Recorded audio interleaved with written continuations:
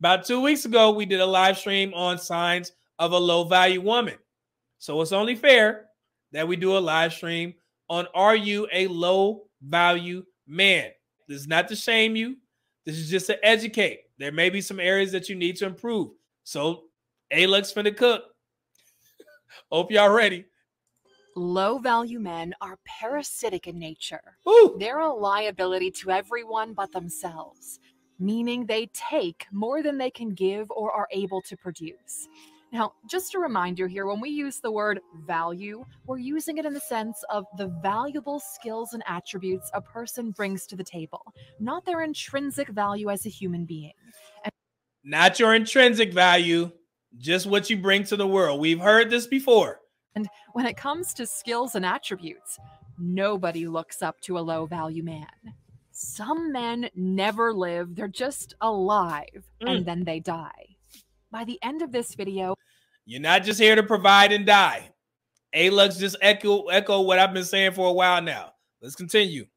you'll have a clear understanding of what a low value man is. They're a combination of everything on this list. And the goal of this video is not to shame, but to be a brutally honest, cold shower that will wake you up and get you to make something of yourself. There you go. Here are 15 signs of a low value man. Number one, bottom 25% of earners. When it comes to the social hierarchy, men are ranked based on money and status because that's how society measures impact. The more valuable you are, the more value you will accrue. Low value men have none, and they find it incredibly difficult to accrue value. Low value men can't even support themselves, so they're leeching off others. They live with their parents well into their 30s. I know that's going to be a sore subject right there. They live in they live with their parents well into their 30s. Now, let me clear this up. There are some cultures that, you know, where grown folks tend to stay with their parents for a long time, right? Not talking about them. We're not talking about those types of people because those men and women are contributing to the household.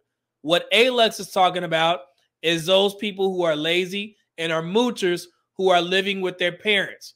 Think uh what was that movie where um no no, no I think it was a Key and Peele episode where uh the the the good son was about to get married and uh was it uh, I think his name is Peele. I think Peele he was still living with his parents or whatever and he was like hating on the uh, the other son his brother.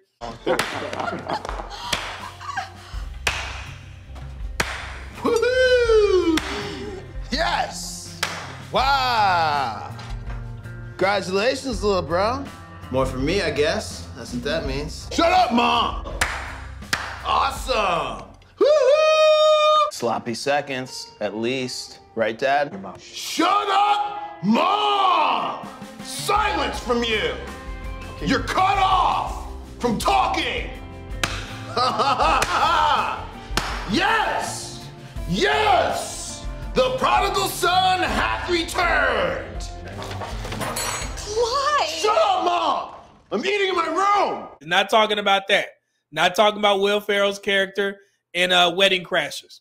Yeah. Hi, is Chazz here? Chazz is somewhere here to see you! Pick up your fucking skateboard! What the fuck do you want? Come here, brother. Give me a hug.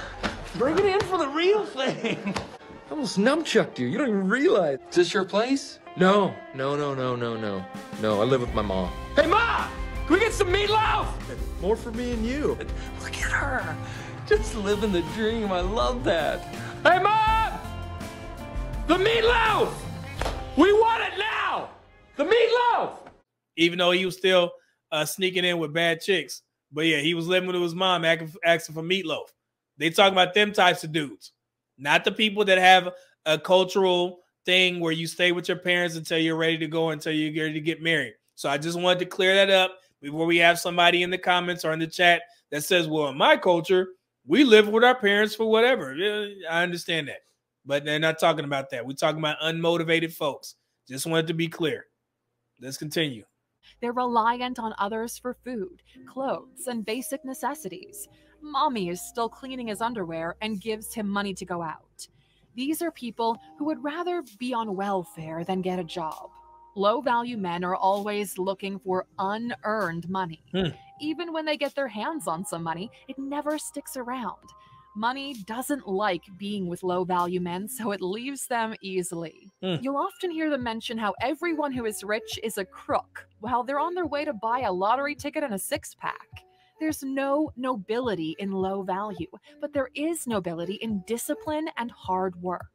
Being a plumber, construction worker, even waste management makes you a lot higher value than these people.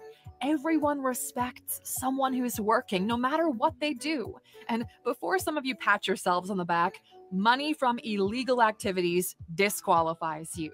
You hear that? Trappers, rappers, or whatever the hell y'all do, whatever they call them these days. You in the trap, selling that good white or whatever y'all call it, an eight ball or 2020, whatever it is. Uh, not talking about you, street pharmacists. Legal money. It doesn't matter if you're in the top percent of earners if your money is shady and you can't step into the light. Going to jail or not being able to take pride in your work disqualifies you from the game of life. Even if you win the money game, you still lose, no matter what you tell yourself at night, because you weren't able to do it without cheating. One of the, the best points in that uh when she was talking about the first point is she said low value men are always looking for unearned money.